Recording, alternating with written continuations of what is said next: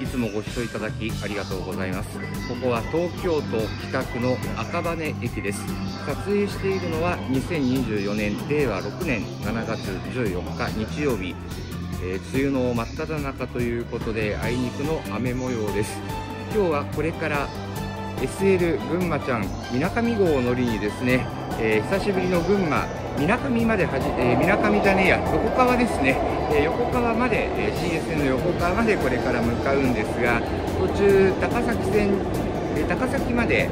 え、この赤羽からグリーン車に乗って、え、移動します。以前高崎線については1階席のグリーン車から撮影したことはあるんですが2階席からの景色のご紹介というのはまだやってなかったみたいなので、え、撮影自体はこの後大宮から高崎までの景色をご紹介いたします。3月のダイヤ改正と合わせてグリーン車の普通列車グリーン車の、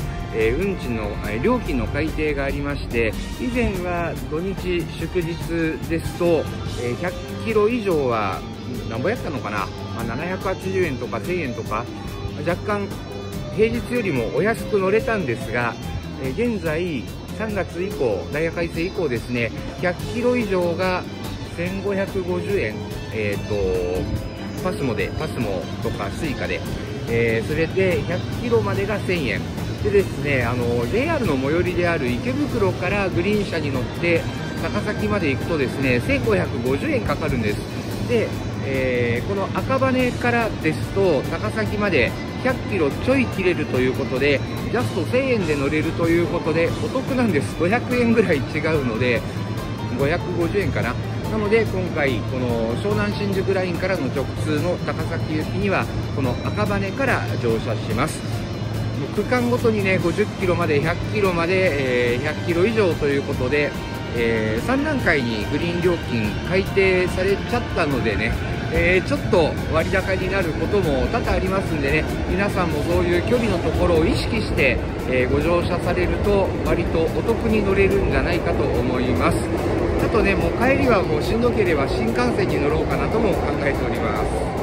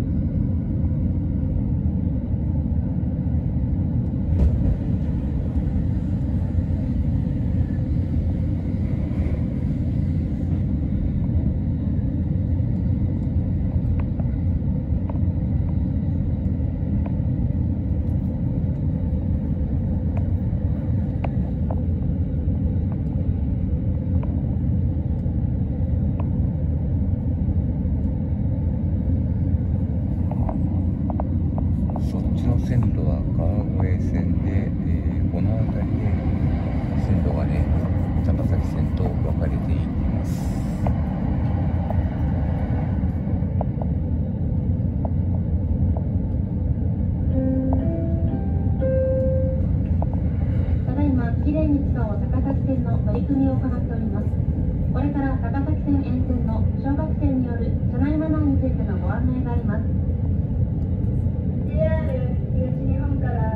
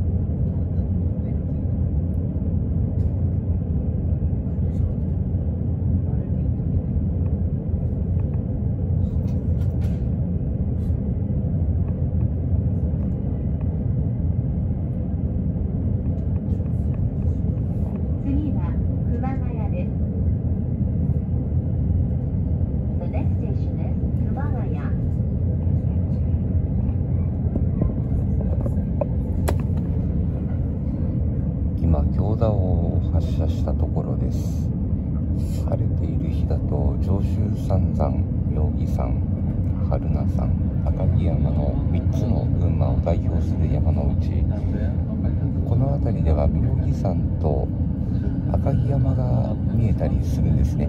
この方向には妙義山そして車窓右側に赤木山が晴れた日だと見えるんですが残念ながらえ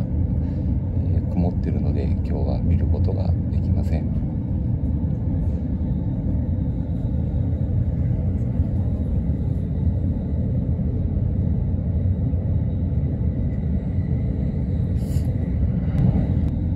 この辺り車窓右側に上越新幹線の高架が近づいてきています。もうすぐ熊谷上越新幹線と秩父鉄道乗り換え駅ですまもなく熊谷、熊谷。お出口は右側です。新幹線と秩父鉄道線はお乗り換えです。The next station is 熊谷。The doors on the right side will open. Please change here for the Shinkansen and the Chichibu Tetsudo line. さっき秩父鉄道の線路がオーバークロスしていったんですがここで上越新幹線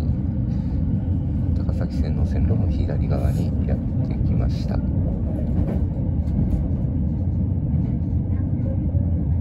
運がいいと秩父鉄道の車両がいるんですけどね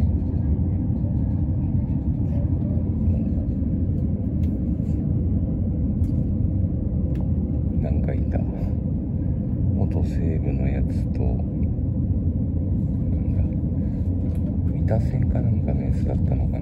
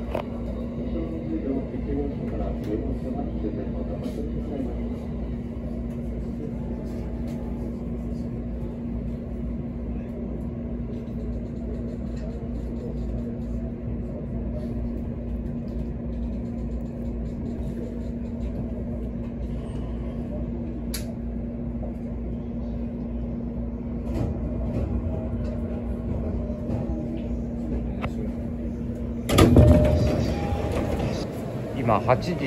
15分、えー今籠原に着いて前の5両が籠原止まりで、えーこの先高崎には後ろの10両が行くようになっているので、えーこの電車ですねここで切り離しを行います。発車が8時18分籠原で約3分ほど止まります。にしてなかったんですけどね。今日はこの高崎行きの電車15両すべて E231 系の1000番台で運転されているようです。前からね、えー続々と後ろの10両に乗り込まれる方が歩かれていらっしゃいます。湘南新宿ラインとか上野東京ラインの電車高崎線に入るやつね結構籠原止まりっていうのが多いので駅名自体はよくね聞く名前でどんなところなのかなという方も多いと思いますが何もありません。で切り離しの作業を見たかったんですけど普通車通り抜けて、えーグリーン車まで戻るとねまた結構混み合っているので面倒くさいんでねもう切り離しの作業を見ずにグリーン車に戻ります。ここから先は基本確か10両編成しか入れへんかったのかな。そんな感じです。ついでに言うとですね普通車4箇所ドアがあるんですが1箇所を除いてボタンで開け閉めするようにこの籠原駅からはなります。あそっか。この先乗り降りはねボタン開けやなあかんので結構ね、えー面食らうというかさっき籠原で降りた時もドアがねボタンを押さんとあかんのでちょっと面食らいました、まあ都会になれるとドアって自動で開くもんだと思いますのでねまあ気をつけましょう。それだけです。ということで自分の席に戻ります。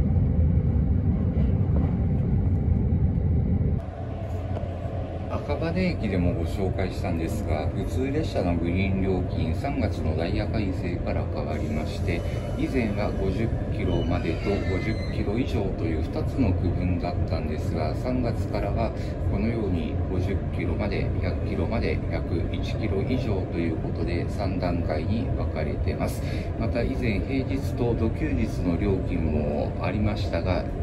今は年間通して、えーこの料金で統一されています。紙の切符を買うと結構高くなるんですよね。こんな感じで。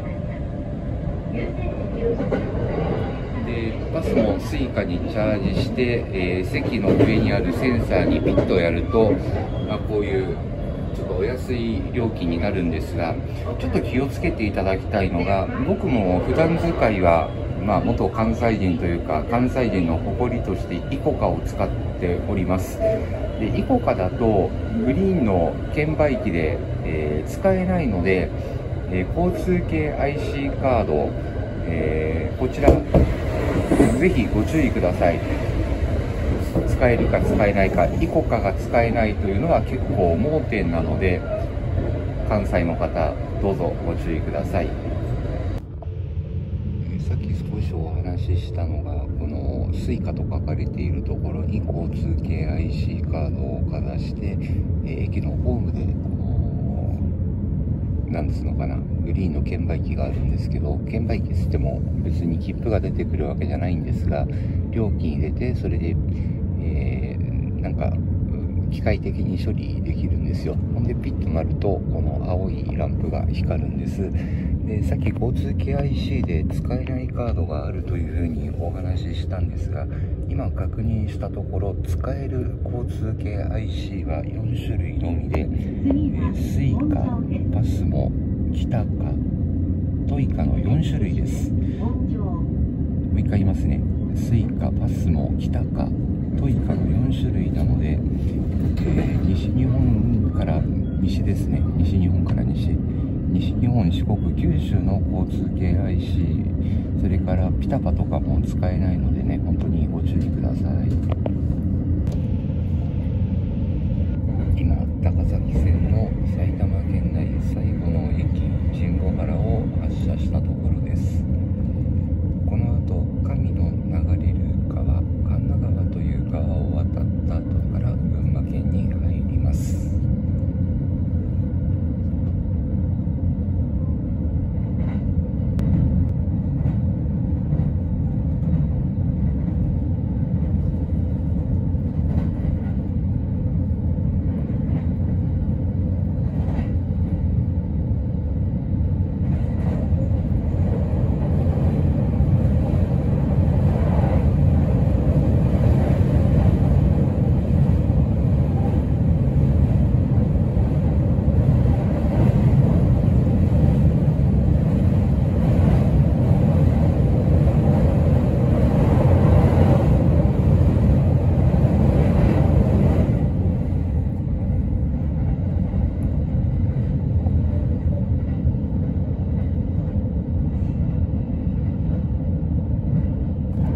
高崎線群馬県に入って最初の駅新町を発車した後です。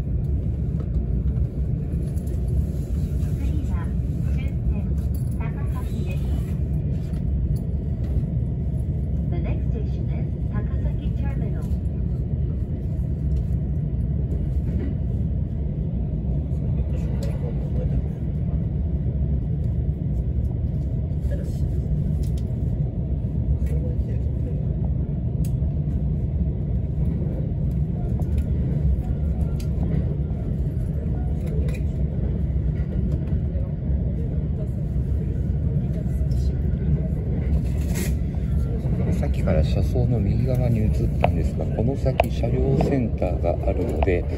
そこになんか面白そうなのがいないかなと思って右側に移りました、えーその後ね左側に上信電鉄の線路が高崎駅の直前できますので車両基地取り終わったらすぐに左に移ります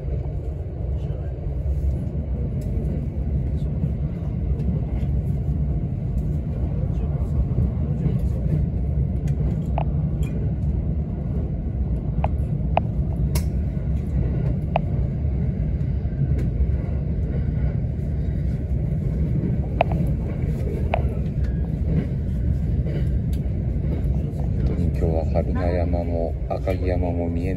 ないのが残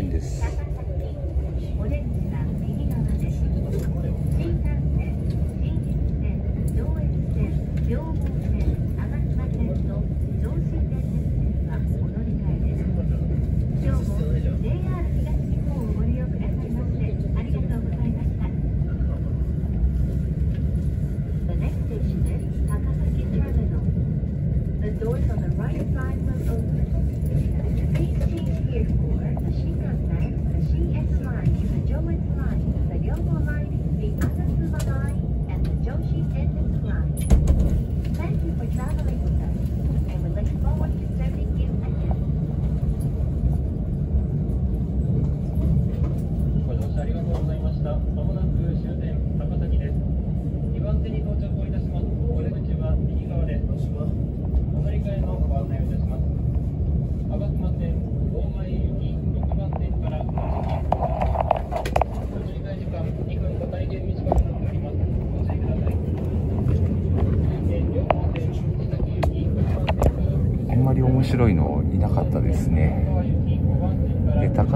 リーナを過ぎると左側から上信電鉄の線路が近づいてくるはずです。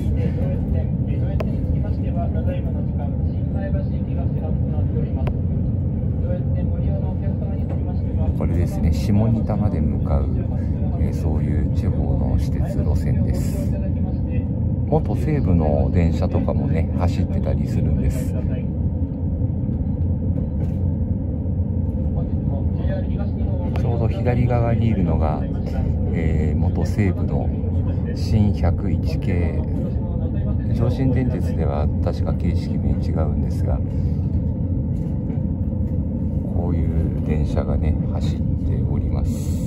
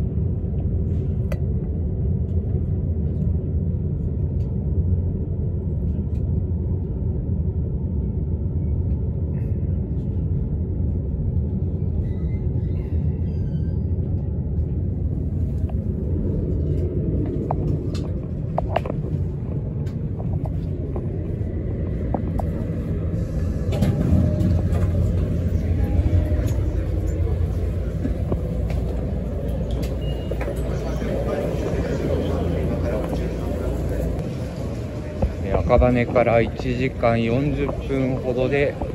群馬ちゃん駅に到着いたしました。久しぶりのね群馬ということで、えー向こうには吾妻線直通の、えー珍しく終点の大前まで向かう電車が止まっております。でちょうど今着いたところのちょうど、えー書き込みがある向こう側には多分駒川駒井うんどどこだ？あ途中児玉で止まるやつだ。えー、キハ110が止まってます。さっき降りたホームの先頭に結構あの人がいらっしゃったので何事かと思ったら、えー僕は横川からの SL 群馬ちゃん号に乗るんですけど横川までは EL 群馬ちゃん号として、えー連結される電気機関車があっちに止まっています。で向こうには12系の客車と先頭には SL がいるみたいであまり僕自身興味がないのでああまりねちゃんとは映しませんがあやっぱり群馬に来ると211がいたりねしますんでね。